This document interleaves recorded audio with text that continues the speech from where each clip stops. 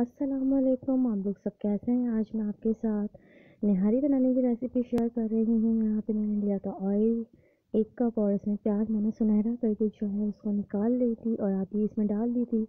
और इसी के साथ साथ मैंने अदरक लहसुन जो है वो इसके अंदर ऐड कर दिया था। अब इसको मिक्स किया था मैंने। इसके बाद इसके अंदर जो है इसको मिलाना था पहले। फिर इसमें जो है वो मैंने बॉन्ग निहारी बना रही हूँ तो यहाँ पे फिर मैंने बॉन्ग जो बॉयल करके रखी हुई थी, वो इसमें मैं ऐड कर रही हूँ। ये देखिएगा आप लोग। बस इसका मसाला ये मैं भून रही हूँ उसके बाद अब बस बॉन्ग इसमें ऐड करूँगी। ये स्पेशल बॉन्ग निहारी है।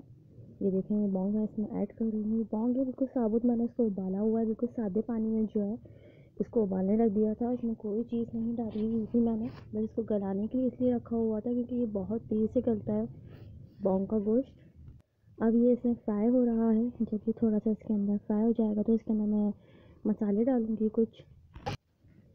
इसमें अभी मैं ऐड ही कर रही हूँ यहाँ पे ये बॉन्ग बॉन्ग के पीसेस हैं, बड़े। और यहाँ पे मसाले में दिखा रही हूँ आपको। पिसी हुई लाल मिर्च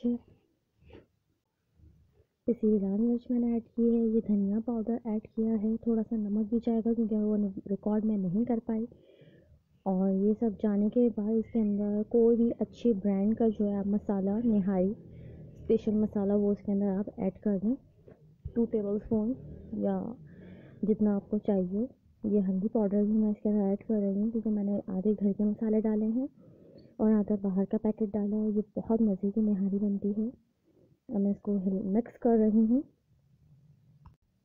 यहाँ पे मेरा मसाला अभी से गोल्डन नज़र आने लगा है। अब यहाँ पे मैं निहारी मसाला जो होता है, वो मैं इसमें ऐड कर रही हूँ सारा का सारा। ये इसमें मिक्स कर दूँगी मसाले को और फिर इसको ढाँप के जो है मैं रख दूँगी।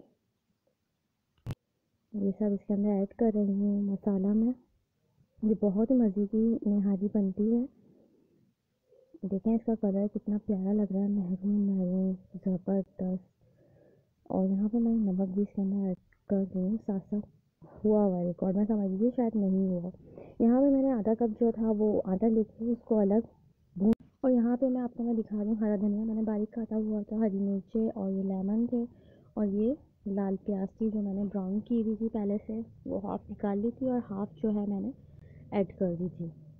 और ये रोगन भी मैं निकाल चुकी थी अलग से। रोगन भी मैंने एक प्यारी में निकाल लिया था और जो आटा जो मैंने भूना था उसको भूनने के बाद उसको पानी में मिला के उसको इस निहारी में ऐड कर दूँ निहारी में मैंने पानी डाला हुआ था, चाहे तो आप यखनी भी डाल सकते हैं, जो इसके स्टॉक हो। पानी डालने के साथ साथ ही मैंने इसके अंदर ये आटा जो मैंने घोल के रखा हुआ था, ये आधा कप है। ये आटा मैं इसके अंदर ऐड कर रही और कुछ ही मिनटों में मतलब कुछ ही मिनट्स में ये तैयार हो जाती है। आटा इसके अंदर ऐड कर रही हूँ मैं, ये देखें, इसको साथ साथ मिक्स करना लाजमी है, क्योंकि इसके अंदर कोई भी गुठली वगैरह ना बने, इस वजह से इसमें आटा वगैरह सब कुछ ऐड कर हूँ ये देखें, मज़ेदार नहारी तैयार है और यहाँ पे इसको मैंने रोटियों के साथ सर्व किया था। और ये बहुत मज़े का इसका कलर आप चेक करें स्ट्रक्चर चेक करें, बहुत मज़े की नहारी बनती है, आप लोग ज़रूर ट्राई करिए।